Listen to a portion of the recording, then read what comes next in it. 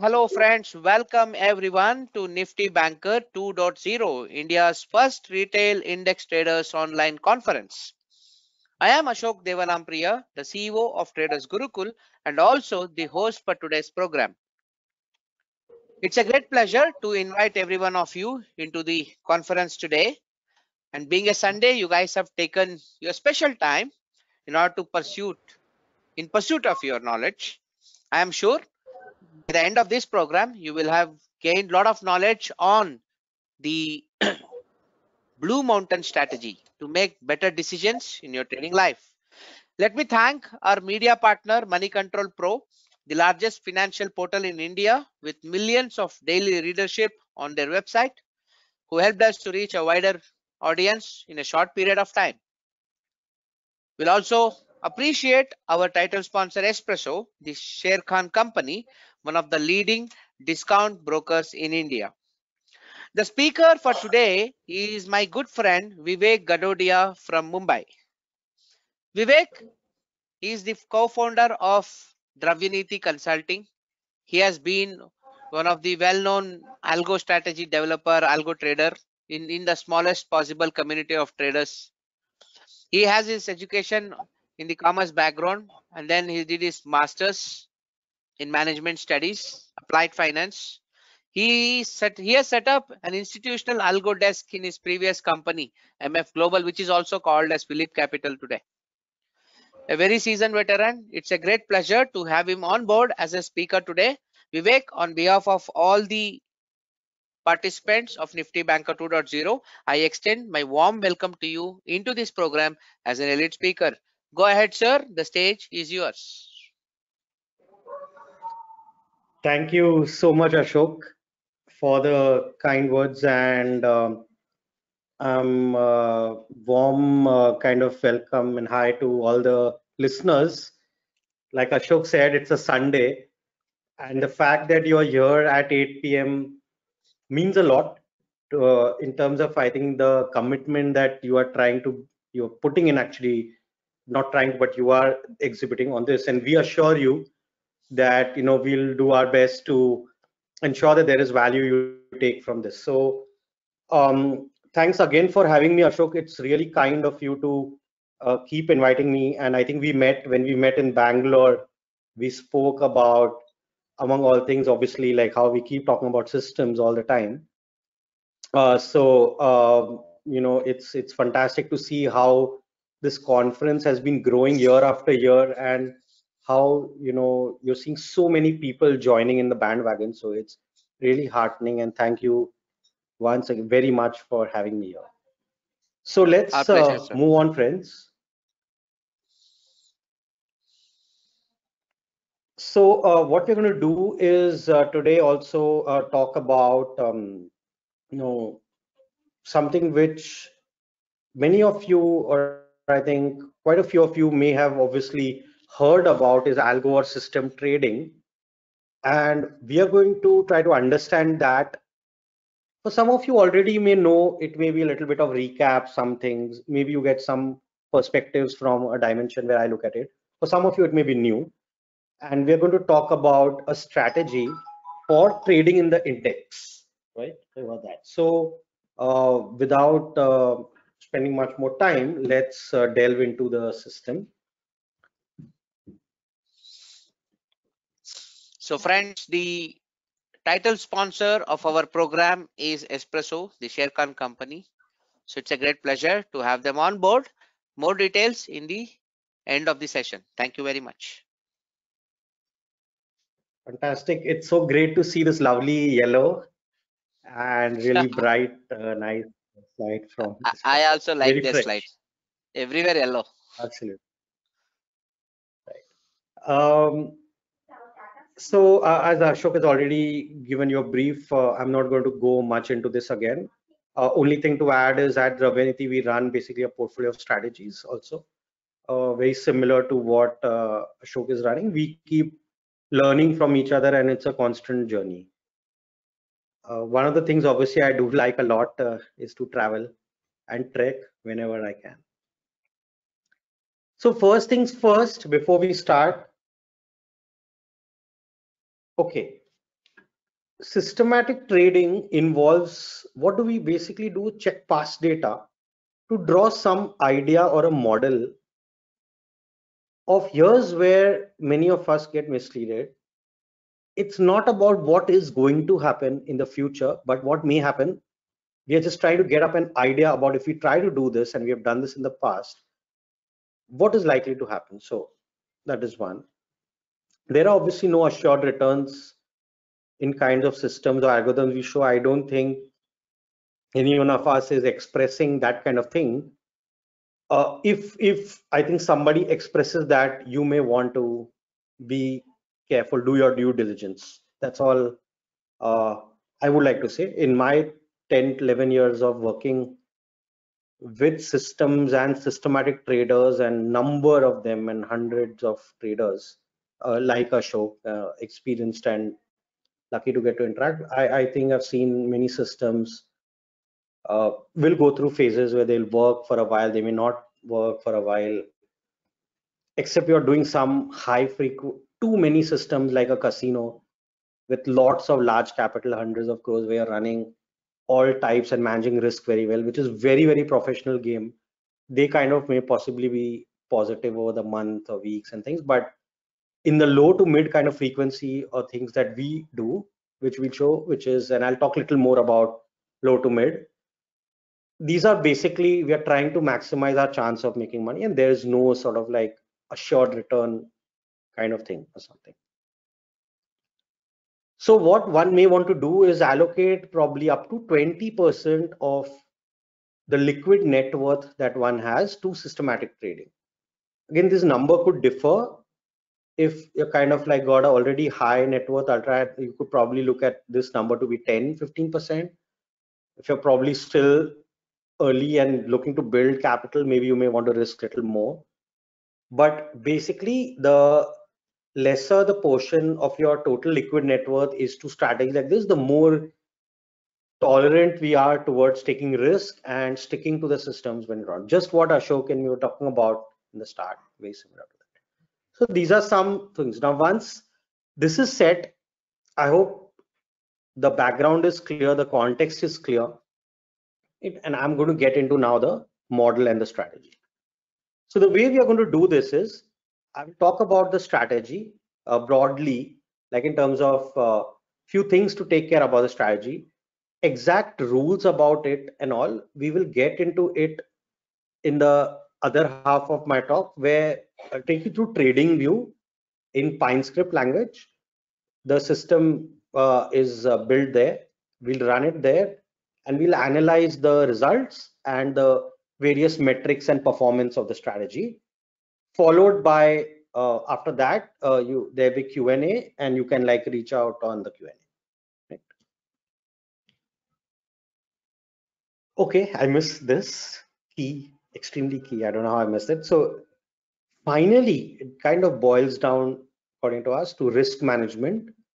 And especially wherever derivatives is involved it's even more important to look at risk right? Whatever we do whatever system we run primarily we want to look at how we manage risk. Okay? So let's talk about momentum trading right? What are we doing so what is momentum? Going to some of you. If basically like you throw a ball okay ball will fall on ground bounce back up again fall bounce back up little and slow but it'll keep it will bounce right? So once that object has taken some sort of speed and direction it may tend to continue in that right so similarly in stock market prices may continue to trend. So what is our aim as traders? We are aiming to ride this trend, both bullish and bearish. It doesn't matter what direction the money is being made or the market is going for a systematic trader. He or she is absolutely undisturbed, unruffled, unattached, and no commitment to direction. The, his or her commitment may want to be only with one aim that is to effect basically make money. So we want to ride the trend both bullish as well as bearish. There are opportunities which both markets provide. In fact, I think the only, I mean, biggest advantage of systematic trading, if we talk about it, is to being able to earn money even on the bearish side, right? Or using combinations of options, we may tend to earn even in a sideways market. Whereas the equity gives us only one directional play. Obviously, it's a it's a long it's a powerful direction. I mean, it's a long direction, which is what probably most of the time the market is doing over a period. It is either sideways to bullish, with mildly bullish or strongly bullish.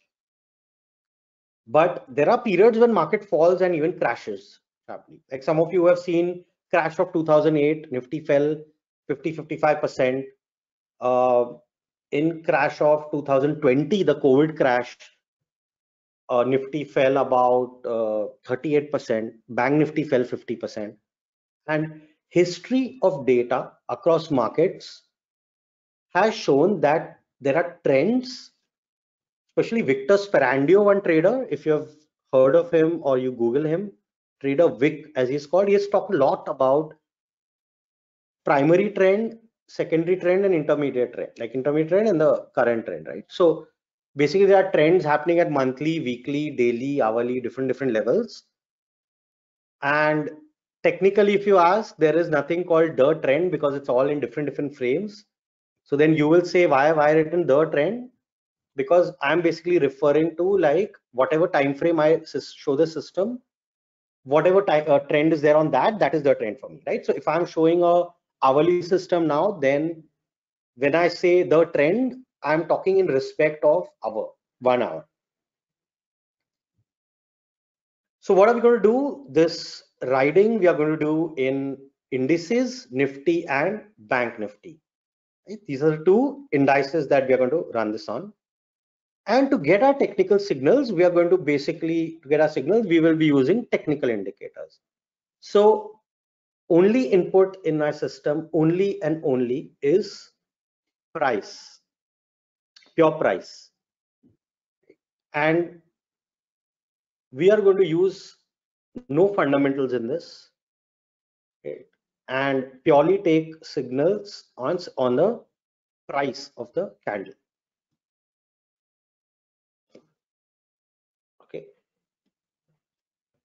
what we're going to be doing is using a very interesting concept of swing detection, swing highs and lows, which some of you may have heard and seen, and I'll talk little about swing in the next slide. But we will be learning a method where we can detect a swing, upswing or downswing, where the method has been entirely the kind of the whole method is proprietary, which I'll be sharing. I don't know if anyone else, see, it's possible that someone else may have thought of the same thing. But as far as, I mean, from my perspective, it's something that I've built. Obviously, and whatever reference I've taken of some other studies of some other trader, I will quote that. And uh, that also goes out to say that traders are always learning from each other. So many traders say, um, you know uh, why should i kind of uh, use something straight away from somebody? Or is it okay or is it not okay? Should i share? The point really is that when you build a system and you treat it it's like your own baby. Okay so end of the day you will never have your father or a parent you'll understand. Or if you're a child you go and ask your parent. You you can only understand or trust or live with beyond your baby right? Like kind of you if it's somebody else's baby you would basically abandon more or less right? So till your system doesn't sort of become your baby it's very difficult to stick to it when it goes into a drawdown or a losing phase right? So whatever i'm sharing you may see it use it, learn from it, tweak it, adapt it, make it your own, right? Or use this learning from this to build, possibly it may help you in building your own system or your own method, right? These both aims we hope we can fulfill. So the book that I've referred to pick up this concept of swing is basically from Marc Rivalland's book Swing Trading. Uh, Marc Rivalland is a UK-based uh, trader, author, and I think his book on swing trading is probably one of the most popular books on swing trading. Right? So what is swing? Okay. So think about it. Swing is neither too short term, right? Like it's not like intraday. Nor is it too long term. It's not like monthly, yearly, and something as well. So what is it? The answer is clear, right? Somewhere. For this system's perspective, ideally we are kind of looking at two, three day trends at least, like little above more than intraday. Some traders define swing also has two to three weeks kind of thing. Okay, but with the current markets, I think the way movements of markets have become more volatile or more fast at times due to more use of systematic trading and automated trading and high frequency trading and computerized robots. Probably we can get i think i, I think it's a sweet spot to get like capture two three day kind of trade yes some trades in the system may run a little longer but mostly the sweet spot is to do like a shortest term kind of swing trading right not the weekly to weekly kind of thing also which some people define so the definition is not very strict but like from my perspective so for our perspective for this presentation, we are going to stick to like sort of a two, three day kind of trend, which we are like trying to capture. Now, what is the challenge of swing trading, right? So typically I faced this when I started intraday. Let me tell you a story. I started trading a system in 2012 with help of uh, sort of one uh, chartered market technician trader. Uh, he also had an idea about which he wanted to test, but he didn't have computing background expertise. I had computing background and expertise, but I didn't know much about systems, uh, technicals at that point. So I still am learning, but that time I was very raw. So we started together and we made one system on three minute candle. Okay, using some moving average and Donchian channel. Donchian channel is the highest high, lowest low channel. And we did it intraday. Okay, so I used to close the trade at intraday. Now, what I realized after a while is that the transaction costs and slippages that I was incurring, there were days when I would make money, we would make money, yes, but like the many days when it's the broker only who's getting rich, the government is getting rich, and like we were not making any money. So I changed the system bit to make it positional, right? And that's where I kind of obviously got found my mojo, I would say in a way, because I was kind of doing short-term positional trading in my manual discretionary trading, but I was trying to convert and build a system which was intraday, largely because uh, probably I was a bit uh, fascinated with some intraday system traders, and I thought I will replicate them, try and try to make lot of money like they were making. So it was a good idea, but also a bad idea because I was I couldn't be that person, right? So I had to finally find what suits me and what I am sort of. And I think that was a good transition, right? So I'm saying it's a constant journey, right? Like we keep building systems, we keep innovating. Like Ashok was saying in the start, you know, there are so much work that you know they're doing, and we are we keep talking about how can you know uh, how should we approach this, and we are constantly trying to learn, tweak, make new strategies, innovate. So it's a it's a journey, but at some point, I think you may want to find some style that really suits you and reflects you.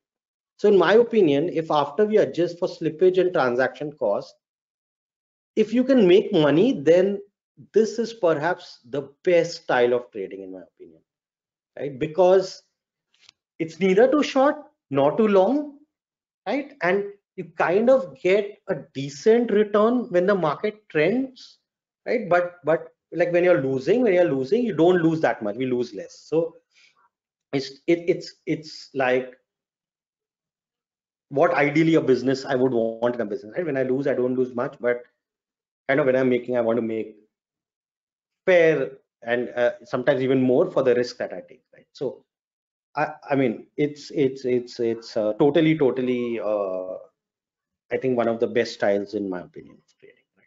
and I kind of find it very nice. And many swing traders will tell you that those who trade profitably, there are many professionals, they would vouch again, like everyone tries to vouch and stick with their style. I think for me, this is totally superb. So what we're going to do is we're going to uh, basically a lot of the uh, other part of the session is actually practical. So thought to not use too many slides and things. I think that was an overview. We'll get into a system and we'll actually build it in TradingView and then analyze that. Right. So is that okay, Ashok? Can we? I can move to TradingView. Yes, sir. Please. Okay, sir. Thanks. So let's just do that. Right. So can you see my trading view screen? Yeah. Okay. Yes. Uh, fantastic. So this is uh, TradingView, and a uh, couple of good things about it. It's first of all, it runs in the browser, and a lot of good trading systems now run in browser. But trading view is extremely lightweight. I find it very lightweight.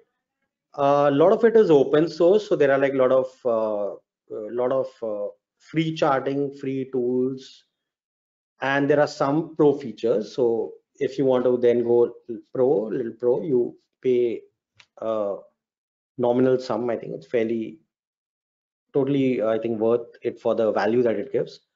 And then you kind of can harness the power of it. So this is the Nifty chart. Let me just put it on to Nifty future. So in futures, I just will choose the Nifty futures and this is the hourly chart in the bottom of the panel, like you see these few multiple tabs like screener, notes, editor, tester, panel. We'll be going focusing on the editor and the tester. And uh, let's actually do that. So what we're going to do is I will, I will, yeah, for that, let me just quickly talk about Pine Editor. So PyNet is nothing but the scripting language of TradingView. Scripting language is nothing but like writing a program or a script. Like just think of some author or writer who's writing a story or a book or you know some uh, shooting of a movie, some author, right? A script writer they are called, right? So this program that we write is also like a script of a strategy, right? It's the like a script similar to that. And different language have different scripts. So uh, Java will have a thing called JavaScript. AmiBroker is another system which has its own language called AFL, AmiBroker Formula Language. Similarly, PineScript is the language for trading. Right? It's the language for trading. So we're going to open some the script. Okay, so I have this. The beauty about it is because it is web-based, uh, wherever I go, you know, this is available. Like today, I had to uh, be at a different place than where I usually am, in terms like my computer machine. It doesn't matter. This is all on the web. Like wherever I am, the same script, the same code is available because because of uh, you know it being web based and the cloud totally. So we'll open this code and let's delve into it. So I'll just zoom this for more clarity. Okay, I hope the font is reasonably visible and clear. And you can see. Not really, sir. You need to make it slightly bigger. Okay, sir. Just let's do that. Uh, I'm not so sure about how we do this in the Mac, but uh,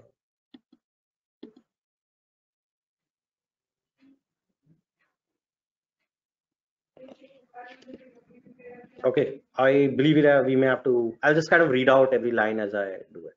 No problem. That's fine. Yes, go okay. ahead. Okay, so um, what we do is basically this is like uh, version five and uh, yeah so we are creating a new strategy called uh, Nifty Banker. So where say the initial capital is uh, 10 lakhs that we are giving, and uh, we are going to be then uh, getting into the rules, right? And uh, before I do that, in the code,